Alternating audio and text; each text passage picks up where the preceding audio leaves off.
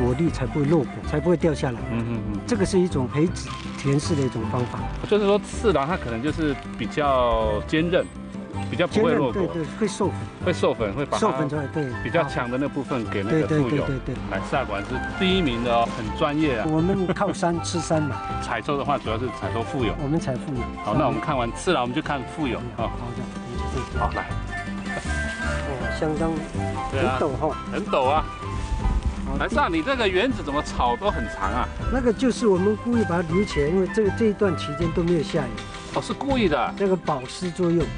哦，就像我们敷那个面膜一样的，对对对保湿。哦，所以这个草就是柿子园的面膜就对了。对对对对，像这个你看，哦，这样就相当漂亮。哦，这就漂亮了哈。对，那上面那个白白的就是果粉嘛哈。这个是果粉，剪的话有没有什么特别方法？对准这个这个鹅片有没有？嗯，这边扶着，然后往这边，哦，怪不得剪刀要平平对。对对，平平的，怕刺到哟。然后你要把把它削到最顶端，哦，最顶端要把它剪掉。哎，剪掉又怕碰伤的时候，那就等于不瑕疵。这一颗应该就是优良品了，优良品，这个相当漂亮。相当漂亮哈。你看外面一层白白的果粉哦，我这个叫富有，哦，这就是富有。这个跟那个次郎不一样，它就没有那样一条一条的。不然你试试看看。试试看看哈。嗯，哦，这有果粉，就表示这应该是很甜呐、很甜的好，那我就大口吃啦。好嗯，水分够不够？够。我看这水分就这样慢慢这样渗出来了。哦，这甜度很高，嗯，大概十七度到十八度左右。哇，好甜哦，哇，真的好吃。哼，果然是第一名的甜柿啊，这有十七八度那么甜啊十七八度。莱萨的笑容自信，原来他种柿子种出心得，很多诀窍技巧说来头头是道。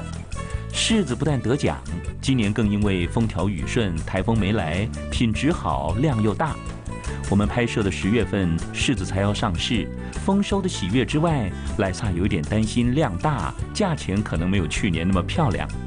没想到五谷不变、品相不分的政治人物强为柿子出头，坏了农民的好事。士林坝位于大安溪中游，民国八十三年起建，九十一年开始运作，是鲤鱼潭水利工程的一部分。坝体截取大安溪水，透过五点五公里的隧道引水到台电卓兰电厂，发电后的尾水排入景山溪，引入鲤鱼潭水库，供应大台中及苗栗地区的民生与灌溉用水。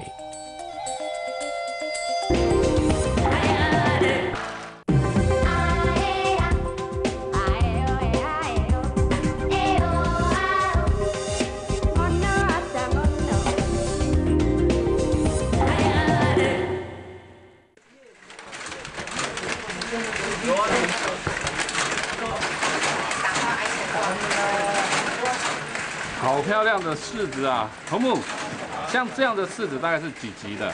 一个是十一叶的，十十一叶就是表示，哎 A，哦。十一叶表示十一两，哦，十一两，十一两，我、是用重量来分级啊。那分级大概是从多少开始？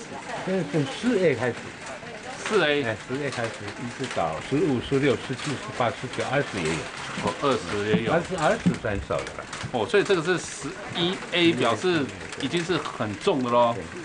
那是越大越好吗？呃，当然越大越好，但是韩国哈，嗯，有的韩国不需要大的，他说卖不出去的，大部分有的韩国是要小的。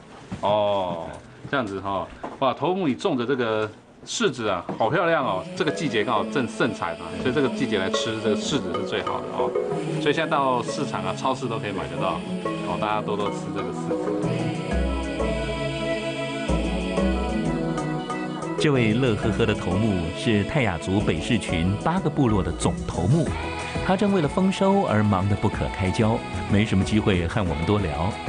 一篓篓红艳艳、沉甸甸的柿子，和忙着采收分级的柿农，完全不知道两个月后政治人物炒作选举议题，让好事多多变成了多事之秋。